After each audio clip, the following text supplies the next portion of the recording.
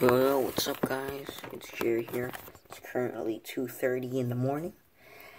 I have school tomorrow, but it ends early.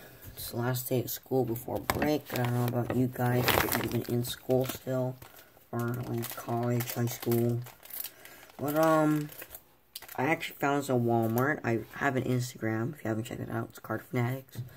Uh, follow a bunch of people. Most of them pretty cool people. But uh, I see them buying this a lot, and sometimes they pull fire, sometimes, you know, not that good, but I just want to see, like, what I pull from this, because this is actually the last one at Walmart, so let's get into opening this. I always have a hard time opening hanger packs, so here we go, let's, um, see, there's three Prizm packs, along with the red, white, and blue. Alright, so, uh, yeah. Let's get started. Let's hope we pull an auto.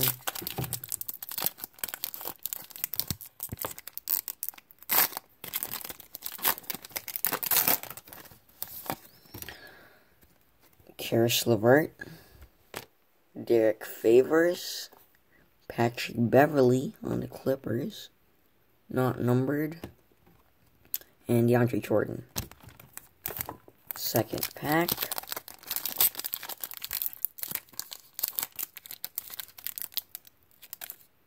Hold on.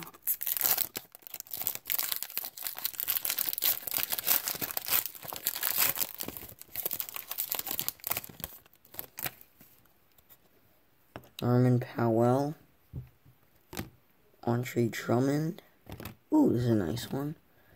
Dwyane Wade, Prizm Refractor. Not number two.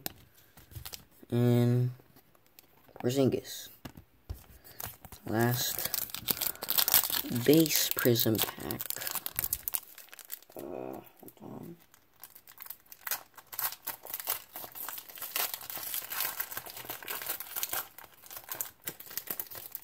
Maybe I pull a rookie or something. Uh, Isaac, Greg Monroe, Hakeem Olajuwon Fundamentals, and Domantas Sabonis.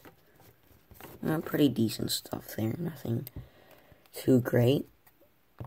We go on to the red, white, and blue now. Come on, let's, let's pull Kyrie or Benson or something.